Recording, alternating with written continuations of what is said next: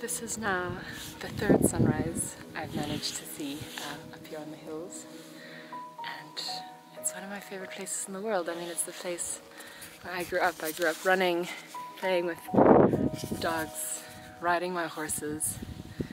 Everything was here. This is the place that gave birth to my love of mountains and nature and wildlife.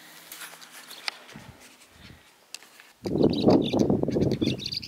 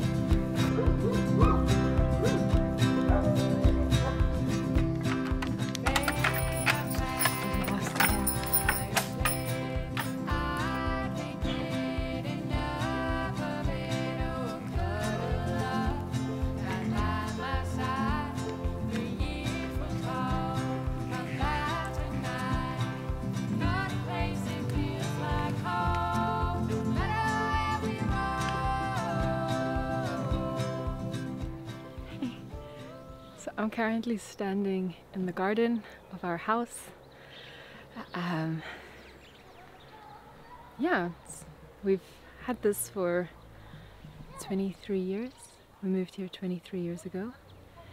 And we lived here for about 10 years and then moved away somewhere else for school, but we still have the property. We first had the orange house. Um, and then we were all sleeping upstairs in the attic.